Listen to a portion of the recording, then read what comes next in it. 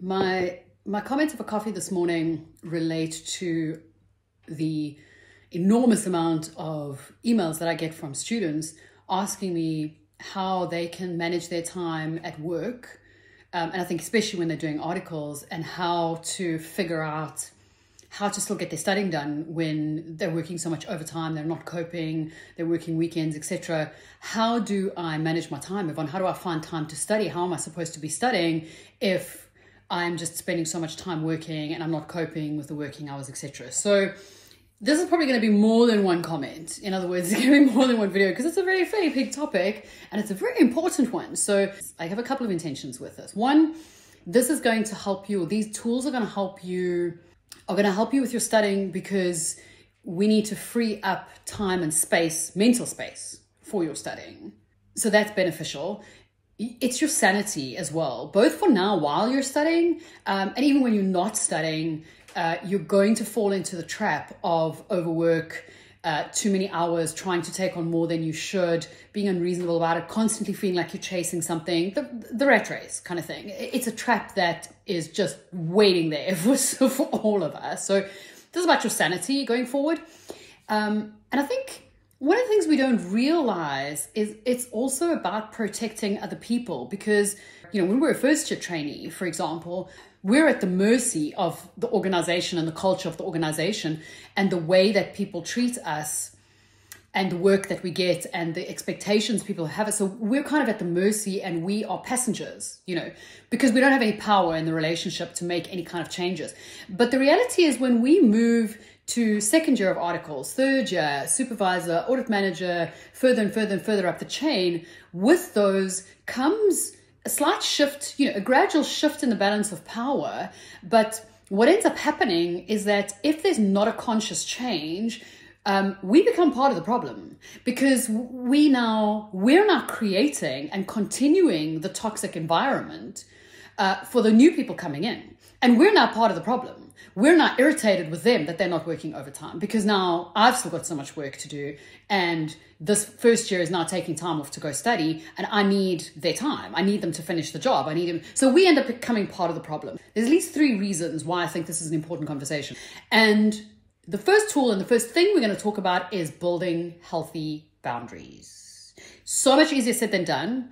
And I think, you know, when I look at stuff, I don't really see a lot of information about practically how to go about this, especially given, you know, the unique environment, personality styles that we're dealing with in you know in our space in sort of the accounting profession. So i want to talk about a couple of tools and a couple of things we need to think about to help us build healthy boundaries to protect our time our space and our mental energy. So that's that's what i want to be talking about building boundaries what is a boundary? What are we talking about here? It's almost like building a bubble around you, a conscious bubble that says, my time, my space, my mental energy, I'm in control of.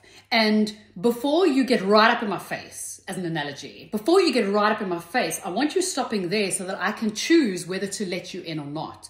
Because if you have no boundaries, you have no protection anybody can come up to you and just take what they want from you. I want your time. I want your energy. You need to listen to me. And this sucks our time. It sucks our mental energy, resources. You know, if we have no bound, if we have no boundaries, it means anyone can walk up to us off the street and go, "Hey, give me money.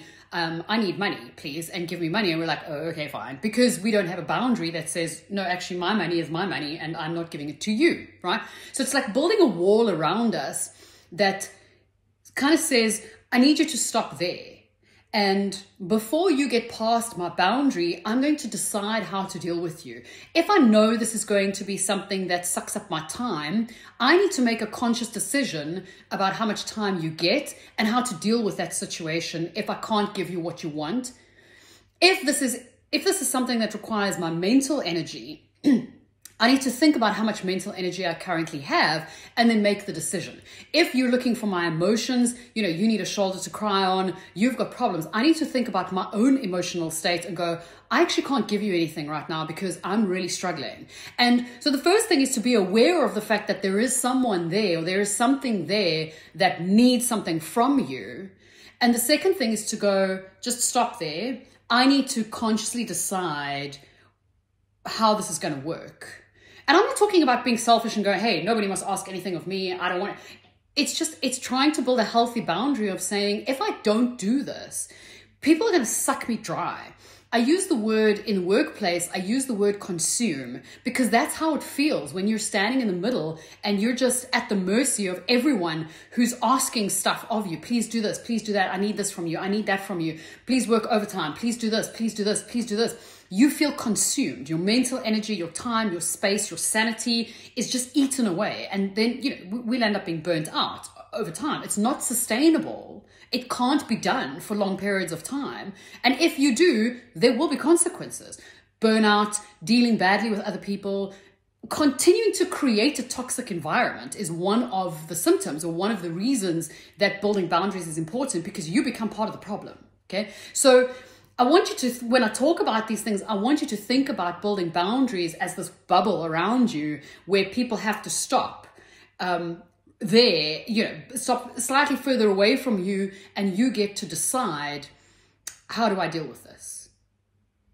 How do I, okay, I'm prepared to take this knock now because I don't really have a choice, but I got to figure out this is not permanent. This cannot be permanent. How do I deal with this? How do I make this happen? How do I change this? How do I have the conversation? Okay, so that's what a boundary is. We're, we're going to talk about this as a bubble, and I use the word consume a lot because I've been in that situation, obviously I've been in situations where I was consumed, I was burnt out. It was incredibly unhealthy for me. Um, really bad consequences health wise, lifestyle wise. And once I left, there was one particular job I'm thinking of. Once I left there, it took me three months to to breathe. Thankfully, um, you know, I had a position where I moved into the next space and, you know, I had like a two or three month break before I moved into the next role. I did nothing but sleep until 12 o'clock every day.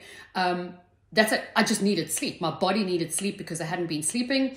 I hadn't been eating. I was literally surviving on Coca Cola. it's terrible, okay? But I would drink like two liters of Coca Cola a day. I was not eating. There was no food in my house. I was just working day, night, day, night because I was lecturing at night as well. That's it. That's all I was doing it took me three months and i remember like three months later i i had this this uncomfortable feeling in my stomach and i don't know i was like oh i've got like i've got stomach yeah i've got stomach ache i'm feeling really bad. And it actually took me a while to realize i was hungry. Because i'd stopped eating for you know for, for i just wasn't it wasn't a regular thing for me. You know horribly unhealthy. And so there are going to be consequences. It may not be now, but it will happen. Consequences for you, consequences for your family, consequences for your career. So every time someone hits that bubble, we need to be looking at that and going, how do I protect myself? How do I protect my family? How do I protect my career? Because with the best of intentions, no one outside your bubble has your best interests at heart. You're the only one who does. So anyone outside that bubble is asking you for stuff because it benefits them they are not sitting there going, Is this good for Yvonne? I need this from her. But is this good for her? Actually, no, it's not. She needs to go and study. Like, I know she's studying. So I'm not going to ask her. No, that's not how it works. People are going to go, I need this from Yvonne. Let me go and ask her. And it is Yvonne's responsibility to say, no, actually, I can't do that. But Yvonne won't say that because none of us do because we're all we want to be liked we have imposter syndrome we we're trained in society that we have to go the extra mile. We we believe that you know in order to uh, invest in our future we've got to work really really really hard and then people are going to notice how much we're working and they're going to promote us and so there's a value there's a future value to doing everything everybody wants from us. We're too scared to speak up. We we don't know how to have hard conversations. So someone's just going to come to me and go oh hey Yvonne I need you to work this weekend and I'm going oh fine and they're going, great, I got what I needed.